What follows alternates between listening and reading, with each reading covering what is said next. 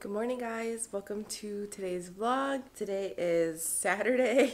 Tomorrow is Father's Day. Um, and I decided to vlog today. I had some vlog footage on my memory card and one of my dogs got to it. So that all, all that footage is scratched. Note to self, do not leave your um, memory card out for your dogs to destroy it. But Penelope is still sleeping and it is 9.37. She did like an eight and a half hour stretch and then I fed her and put her back down because I wasn't ready to get up. But now I have to get her up because I am getting back to work eventually and I can't have her sleeping in this late. Um, usually at this age, they say for the baby to sleep around 10 hours. It's been 11, so she needs to get up. Um, but it did feel good to sleep in to 9.30. That was great.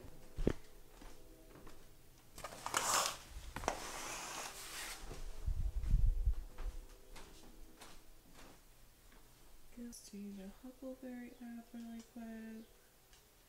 I don't I don't want to pump. If you're gonna wake up now, my boobs need your attention. What if mommy gets you out of this comfy swaddle? Hello, Penelope. Good morning, my love.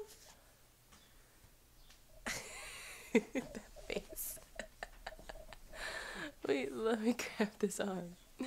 Oh, you smell so good. I can smell you. Hi, Mama. Good morning. Did you sleep amazing? Hello, Oliver. She might be a little cranky because I woke her up, but usually when she wakes up for the day, she's all smiles. Right, BB? Say, I wasn't ready, Mom. Me turn off the outlet. Good morning. I did want to mention that I had mentioned this um, like fake DockATot on my Instagram, and a bunch of you messaged me for the link um, because I can't do swipe up. So I just wanted to quickly let you guys know just be careful when you're putting things in the bassinet. Obviously, you're not supposed to have anything in the bassinet for safest sleep.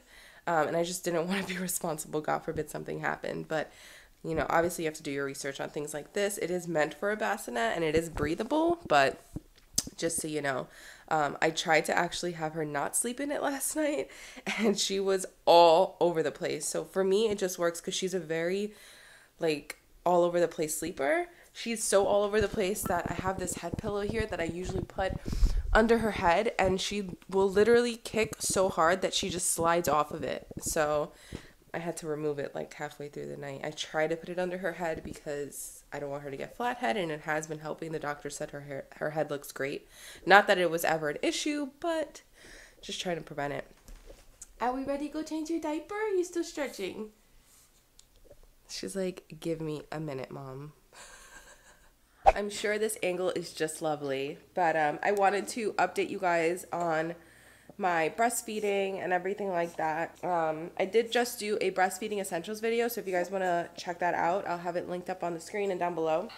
So, um, recently I've been pumping again, which is a huge change just because, one, it's so time consuming, um, and two, it it meant, or for me, it meant that there was a dip in my supply, so I had to start pumping um, which I didn't think was going to happen just because I had so much milk when I came home from the hospital because I was pumping in the hospital and because my milk came in full force. It was great. Um, and recently, I feel like because she's getting bigger, obviously, and she's wanting to eat more, I just wasn't producing enough for her. So she was getting frustrated with me. Um, I was getting frustrated because I was like, I don't understand what's wrong. And then it kind of clicked to me that she's probably just wanting more milk because she would latch and suck and then she would be like she would turn her head and be over it. And I'm like but you're hungry so why aren't you just eating? And I'm like and then I put it together and I realized that there's probably just not enough milk coming out for her. And so once she's sucking and there's not a, like much coming out she's like I'm over this. Like give me something else obviously I share my experiences with you guys so that you got if it happens to you guys like you know you're aware or prepared or anything like that but basically what I'm doing now is Um, or originally, what I was doing when I realized it is I would pump after every single feeding session from four o'clock on because um, that's when I felt like my milk supply started to dip. Because in the morning, I'm engorged and I'm full of milk because, you know, she sleeps through the night now. And my body has adjusted, but not 100%, that's for sure. I'm still very full in the morning, which I'm actually okay with as long as I don't get mastitis or anything crazy. Um, because she's hungrier in the morning, obviously, because she's sleeping longer stretches. So she does tend to pretty much drain me. Like my boob was rock hard just now, and I am pretty much soft again or almost there. Um, Oh, I forgot to put the timer for the feeding. I was just gonna say, I wonder how long she's been eating. Okay, I'm gonna burp you and then we'll continue on.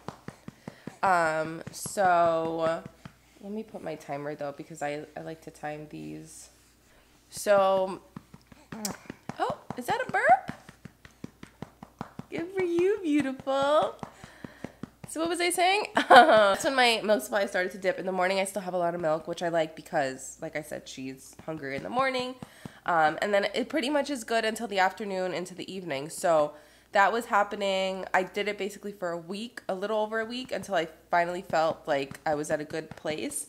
Um, and even now, I'm not producing like a ton of milk at that time, but it's enough for her, which is important um, to me because you also don't want to overproduce because then you can run into other kind of issues. So the, I did that for an entire week. Hi, beautiful girl. You hear mama's voice? You laughing? She's so cute. Why are you so cute? Is there a reason? I just don't understand. You're such a big girl now. Why your eyes look like um so that helped. And now to keep up my supply because obviously I don't want to lose my supply or have to go through that again. I do a pump session in the morning and I do one pump at night. The one pump session is right after I feed her because I don't want to lose this morning milk supply either. Um, so I'll do like a pump session right after I feed her, but it's important for me to keep my milk supply up. So that's what I've been doing. I've been pumping right after I feed her in the morning, and then at night I've actually been giving her a bottle for a couple reasons. She was introduced to bottles before, but one of the reasons I've been giving her a bottle at night is I have to go back to work soon and I do want her to get used to the bottle. That's number one. Um, also, I need to know how many ounces she's drinking so I know how many ounces to give her um, in her bottles for when she does. Um, what's it called? Not when she goes to daycare, but she's. I think I'm gonna have her with a um, a person, like an individual person instead of a daycare, because especially with all this going on, which I will go into in another video for you guys about like daycare and like what I'm doing and when I'm going back to work and all that. But that was another reason. And then um, I also just felt like at night she's just cranky and she's ready for bed, and it was kind of getting it was it was kind of like a mission to just feed her before bed and I wanted to make sure that she was getting a nice full belly before bed instead of kind of fighting with her on my boob for however many minutes she was eating. So we decided to start well, I decided to start giving her a bottle. My husband gives it to her and I pump during that time. So while he's giving her the bottle, I pump and it's just like a more relaxing experience because although I hate pumping, um, I know that she's calm and she's getting her a good bottle before bed. So that's what we've been doing with that. So anyway, that's my whole spiel. How long have I been talking? Eight minutes. Wonderful. Can't wait to edit that um, rambly kind of talk. But I had recorded this, and then, like I said, the memory card got damaged. So just wanted to put that out there for you guys to know what's going on. Um, I'm also not using my Haakaa anymore because, as you can see now, she's eating on both sides. When I first brought her home, I could barely even ha- get her on one side for four minutes just because she would get full so quickly. My milk was you know, I had a lot of milk and she was just so tiny. She was not even five pounds. So because of that, you know, she would just get full really quickly. So I would have the Haakaa on one side and collect all that extra milk. And now she wants it all. So um, for the most part, I'm almost always feeding her on both sides. So yeah, I think that's like my breastfeeding update. Things I've been doing just to up my supply. Um, I don't think I'm going to do a separate video on that. So if you guys have any questions, let me know. But basically, I've just been drinking a ton of water. Um, I have my water jug actually in the bedroom because I had it last night with me, but I drink four of them a day. Um, I have a lactation tea in the morning, and I'm doing oatmeal every single morning. um, because supposedly those things are supposed to help. And I think they have been. I, I don't see like my, it's not like I go to pump and I get full bottles every time because if that, if that was the case, then I'd be like, oh my God, these things all work. This is crazy. But I do feel like being hydrated definitely helps because you need water to produce breast milk. Um, and I don't know about the oatmeal and the teas, but I have it. So I just, I've been eating them and drinking them just to see. And yeah, I think that's really all I've been doing to up my supply. Um, the and the, obviously the pumping. The pumping is the biggest part. I think if you're trying to pump, then then two. I mean, trying to up your supply. The two biggest things I would say, pump, power pump, or pump after every feeding session.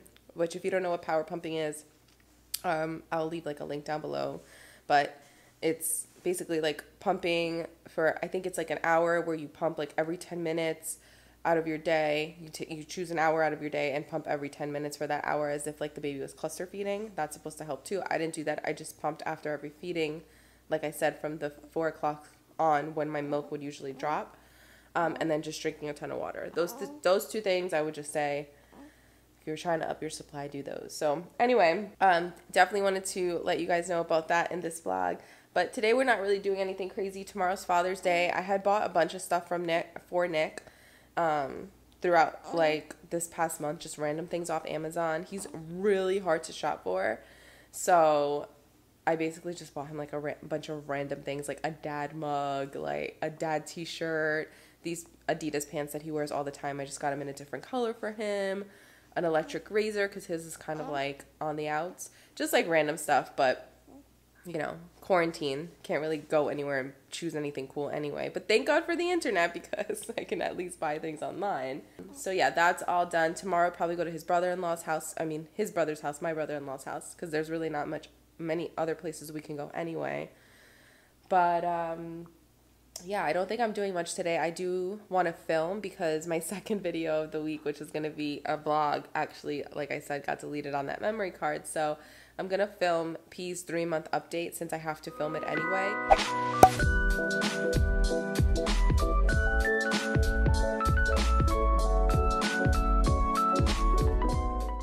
This is what I got from this pumping session. So two ounces on each side. So I'm gonna total that up, four ounces obviously, and put it in a bottle for P tonight, um, or actually tomorrow night because I have her bottle already ready and I have some extra milk actually here. So, so I'm gonna add a little bit extra from here for her bottle for tonight.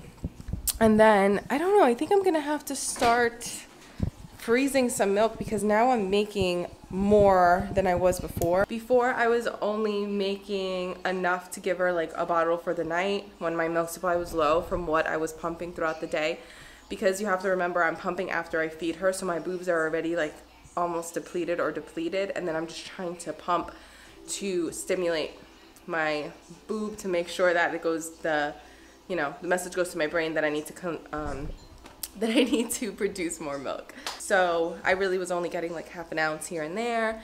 And then obviously I started to produce more as I started to pump. And then I added my morning session pump, which is obviously the most milk of the day because I hadn't, you know, been pumping or feeding her at night. I feed her, she eats really good in the morning and then I pump. So I think I'm gonna have to start freezing milk again, um, which is fine. I just, I have a lot of milk already in my freezer and um, I just feel like it's an overkill to have too many or too much of a stash of milk.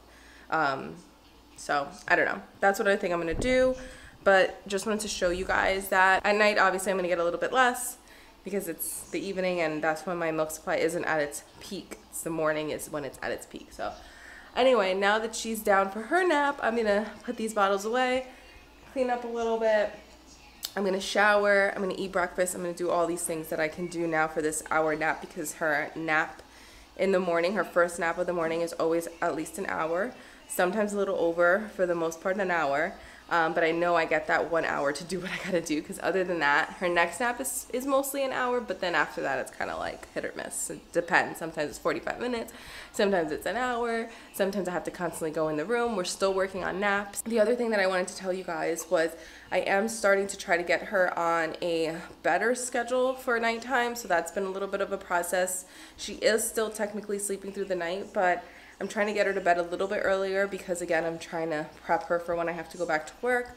So getting her to bed a little bit earlier is gonna help because I'm gonna have to get her up earlier to get her out the door with me so I can get to work on time. Working on that, I'll update you guys on that. I always update you guys on like my sleep journey things, any anything with her I pretty much update you guys with, but like sleep journey wise, and obviously I'm updating you guys on my breast milk supply. So I'm gonna get all that stuff done now before she wakes up because an hour goes so quickly goes so quickly. So this is a look. I decided to do some extractions before I went in the shower um, which is now resulting in this mess because I went to town on my nose and now I have a bruise on my nose. I keep doing that. I just cannot help when I feel blackheads.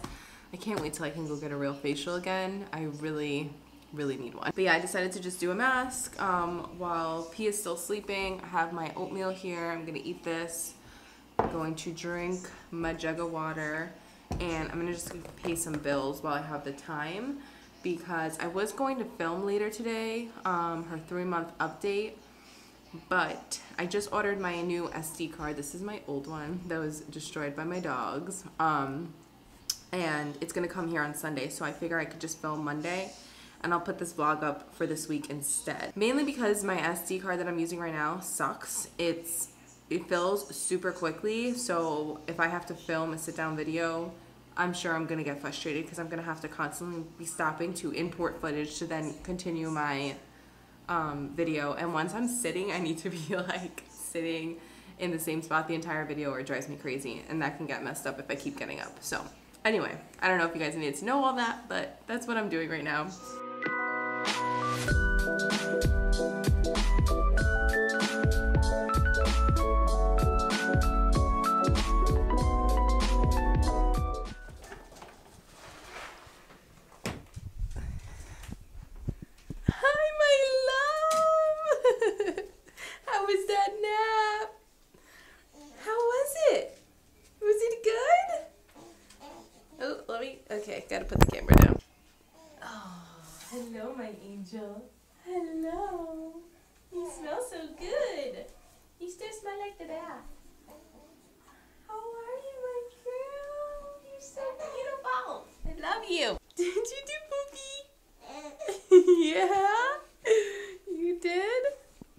I'm actually surprised that she's not freaking out because I still have that mask on. I have to wash it off.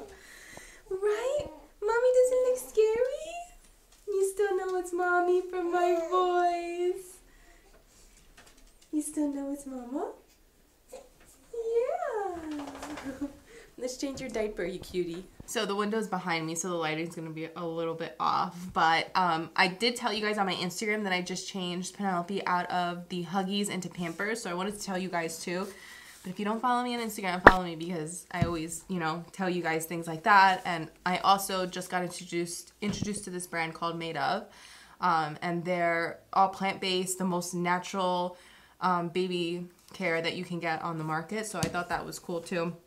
I just used some diaper, diaper rash cream on her. That's why it's all like squeezed out. But I like their products so far, so good. And I like that everything is natural. That's just like really good to know. So anyway, the diapers, I'm bent over because my tripod only goes so high. This is my like handheld one. Right? You think now you see mommy's scary face? It's mama. It's Mama, don't worry. Yeah. Um, but yeah, so I originally had her in Huggies. These are the Huggies little snugglers. Supposedly these are better when they're older. Um, I got I had her in these in newborns and I had him I had the size one but she was just having explosions way too often it went from like once in a while to all the time and it just was not cool like I was over it so I actually bought these by accident because I thought these were the wipes because I use the Pampers Aqua Pure wipes. Um, so I bought the Aqua Pure or the Pure diapers by Pampers. And I was like, well, I have them, so let me try them. And I tried them and oh my god, they work so good. I was thinking about switching them anyway because of the blowouts, but I didn't know, you know, which ones I was going to switch her to. These are so good. I think they're good for babies that aren't super, super chunky. Like you guys can see, she doesn't have like super, super chunky legs.